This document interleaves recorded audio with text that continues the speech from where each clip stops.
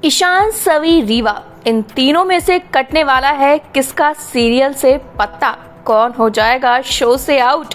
वाल आपको बता दें स्टार प्लस के सीरियल, गुमे किसी के प्यार में के आने वाले ट्रैक में काफ़ी सारे ट्विस्ट एंड टर्न्स आने वाले हैं।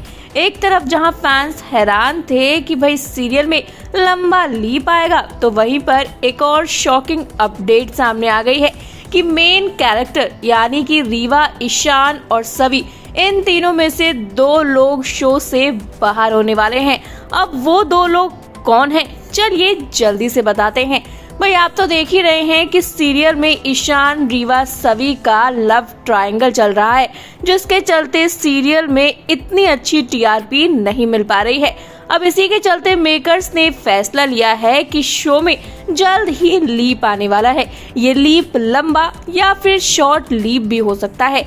लेकिन कौन कौन शो से बाहर होगा, इसको लेकर ज़बरदस्त अपडेट आई है। और भाई, शो से बाहर कोई ऐसा वैसा नहीं, बल्कि मेन लीड में से ही दो का नाम है। वो नाम किसी और का नहीं, बल्कि ईशान और रीवा का है। जी हाँ रीवा का किरदार निभाने वाली सुमित सिंह और ईशान का किरदार निभाने वाले शक्ति अरोड़ा इस शो को जल्द ही अलविदा कहने वाले हैं। मेकर्स ने इन दोनों का पत्ता काट दिया है। यानी कि अब बची सभी तो सभी भाविका शर्मा जो हैं, वो इस शो में अभी बनी रहेंगी। उनका कैरेक्टर आगे भी दिखाया जाएगा।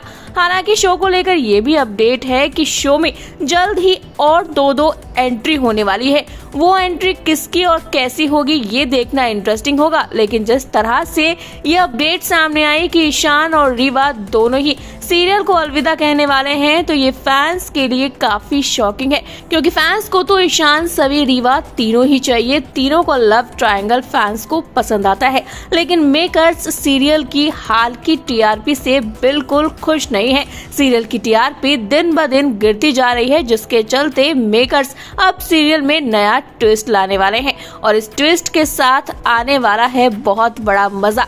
एक तरफ़ जहाँ फैंस सभी ईशान को साथ में देखना चाहते थे तो यहाँ तो ईशान का पत्ता ही कटने वाला है। अब शक्ति अरोड़ा की जगह कौन आएगा? कौन सभी की ज़िंदगी में धमाकेदार एंट्री मारेगा? कौन सभी के सपनों को पूरा कराएगा? ये देखना इंटरेस्टिंग होने वाला है। हालाँकि ऐसा भी हो सकता है कि ईशान रीवा की शादी हो जाए, क्योंकि आप तो जानते हैं कि ईशान रीवा दोनों जो हैं अपनी शादी को लेकर एक्साइटेड हैं। भले ही ईशान को अब सभी से प्यार की फीलिंग आने लगी है, लेकिन बहुत बड़ी अपडेट थी कैसी लगी आपको? आप क्या कहना चाहते हैं? कमेंट करके अपनी राय बताइएगा। ज़रूर इसी तरह की अपडेट के लिए चैनल को सब्सक्राइब करें। और अगर आप इस वीडियो को हमारे फेसबुक पेज पर देख रहे हैं तो इसे भी जल्दी से फॉलो करें।